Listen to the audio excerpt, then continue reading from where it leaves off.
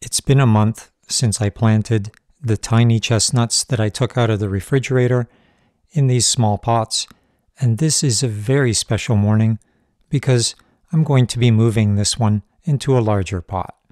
So I thought I'd make a video to show you this very simple operation, but I wanted to focus on what it means to me.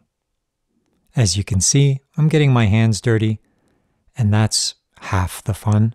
Anyone who helps growing things knows what this feeling is all about. It's a feeling of connection to the earth and the life that it gives to all of us. And for me, obviously, with the chestnut, it goes much deeper than that because my efforts are aimed at helping this species to recover from the brink of extinction. In fact, if you look at any of the popular information sources, they'll tell you that the American chestnut species is, quote, functionally extinct, unquote. Actually, let me interrupt myself for a moment here to show, to talk about those roots. As you can see, this little baby was already pot bound, but not anymore. Now she's going to have lots of room in that larger pot to spread her roots further and get even stronger and bigger before being planted outside once it gets warm enough. It's still March. It's much too early to plant this tree outside. Nothing else has their leaves yet. And so, as I was saying, the American chestnut is not functionally extinct. That is wrong. Because here's the living proof this is the baby that came from a chestnut that was dropped by the Miracle Sisters tree. This is her child. So, as you can see, the species is doing just fine, thank you very much, at least in my forest. And actually, this particular specimen is going to be planted in a forest nearby. In fact, just across the road and down a little ways. And so these are spreading. The feeling it gives me to help this species is immeasurable. It's incomparable. It's such a beautiful feeling, taking part in life, in the life of nature, and in the life that it gives to all of us.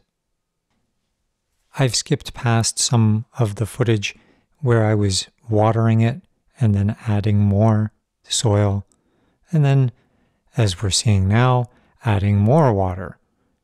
I've got the pot inside of a pail so that I can just keep watering it and watering it and watering it some more and letting that water run through the soil so that it becomes completely saturated.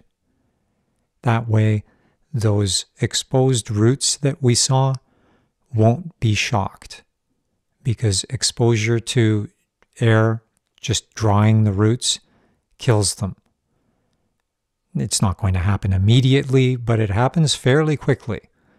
So, this is the perfect safeguard just to keep that pot saturated, probably for a good day or two. And then it'll be time to take it out of the pail and let it dry out. Not completely dry, obviously, but not be saturated. The last thing we want to do is drown this little baby. But in the meantime, it's definitely going to be taking a good 24 or 48 hour bath. and here we go, another shot of water.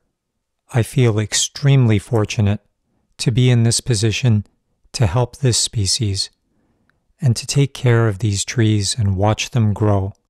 One day, perhaps I'll even be able to eat some of these nuts, but I'm not growing them just to eat the nuts. In fact, I'm not growing them to eat the nuts at all. I'm just trying to do my part to help this beautiful tree to reclaim its former glory as one of the principal hardwoods that grows here in southern Ontario.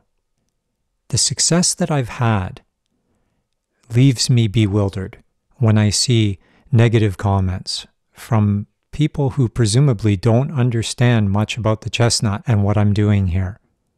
Because it's kind of strange, isn't it, to argue against success? I don't think that I'm going to be sharing as many chestnut videos anymore.